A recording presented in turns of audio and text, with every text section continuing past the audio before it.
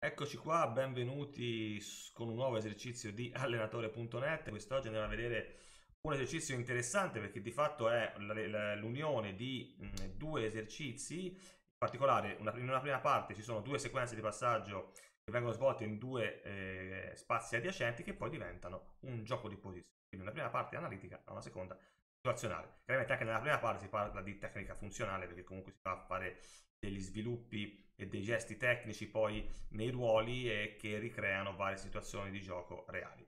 Eh, ma andiamo a vedere tutto con, eh, come sempre, con Tactics Manager. Eccoci qua, siamo su Tactics Manager, l'esercizio è già montato eh, e quindi andiamo a vedere eh, di cosa si tratta. Allora, ehm, abbiamo posizionato in uno spazio variabile, perché praticamente eh, chiaramente è a descrizione poi della categoria, dell'allenatore, degli spazi che abbiamo, però considerate che trattandosi poi di una sequenza che va a ricreare situazioni di gioco reali e poi soprattutto dopo diventa un gioco di posizione, sarebbe opportuno avvicinarsi comunque alle, eh, a, dimensioni ehm, agli spazi un po' reali. Chiaramente non si può andare a lavorare in massima ampiezza e profondità, però comunque gli spazi devono essere abbastanza ampi e adeguati poi al gioco di posizione. E allora, prima parte dell'esercitazione. Due spazi adiacenti, in ogni spazio vengono svolte due sequenze di passaggio differenti. È importante eh, mettere bene i giocatori perché poi dopo si deve nascere un gioco di posizione, quindi è fondamentale capire questo aspetto che vi faccio vedere. Allora, nella prima parte andiamo a mettere, nel primo settore andiamo a mettere i quattro difensori eh, due giocatori per ruolo, due giocatori, un giocatore rosso e un giocatore blu, quindi due giocatori per ruolo. Ehm, abbiamo poi un giocatore giallo che è il vertice basso e poi abbiamo due giocatori blu che sono le due mezze ali che lavorano con questo gruppo.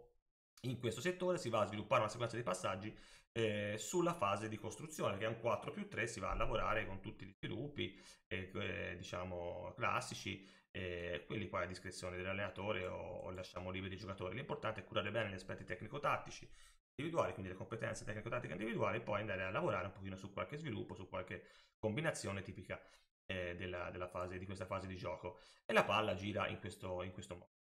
Eh, nel settor, nel, nell'area adiacente, quindi nel settore superiore, invece abbiamo eh, due giocatori esterni che sono le due ali, abbiamo le due mezze ali questa volta rosse e poi abbiamo il giocatore giallo che è il, l'attaccante. E qui andiamo anche qui a fare una sequenza di passaggi eh, tipiche magari della, parte, della fase offensiva, quindi le combinazioni offensive.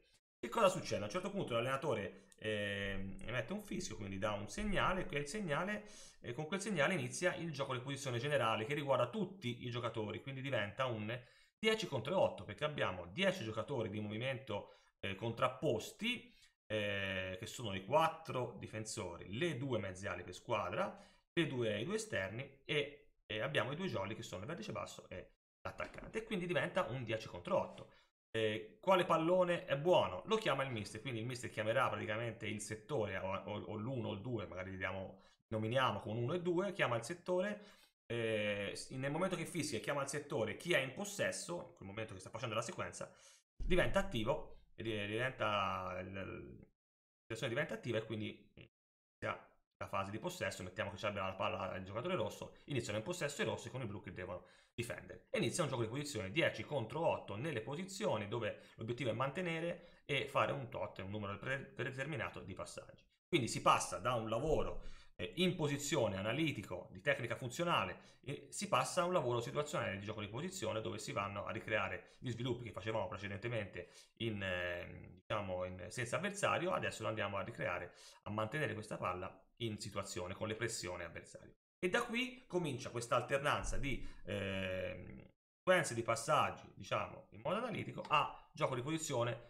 che riguarda tutto il campo, tutti i giocatori contemporaneamente.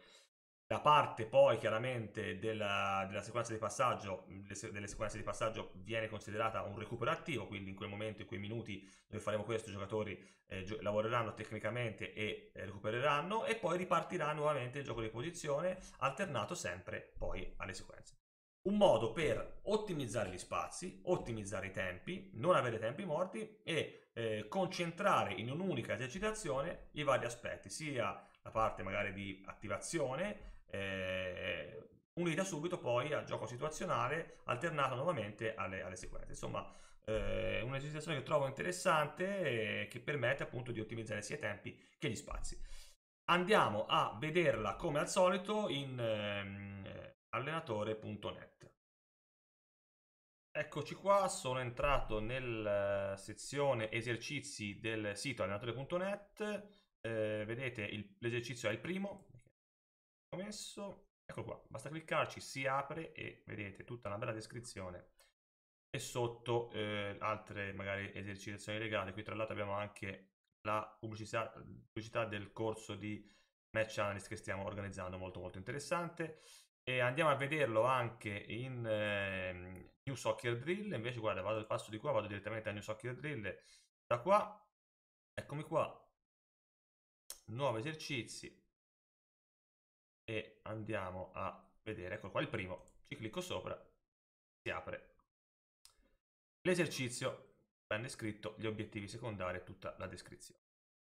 Bene, eh, siamo giunti ai saluti.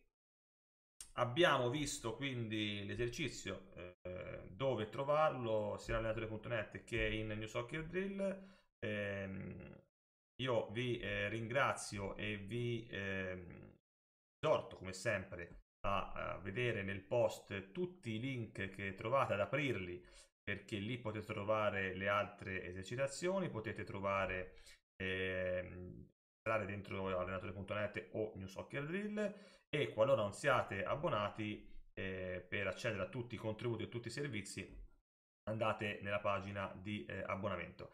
Vi eh, invito anche a scrivere qualcosa a dire se vi è piaciuto l'esercizio o eventualmente a dirmi se eh, avete qualche, qualche miglioria o qualche variante da mettere all'esercizio. Vi ringrazio, vi saluto, vi do appuntamento al prossimo video con un nuovo esercizio di allenatore.net.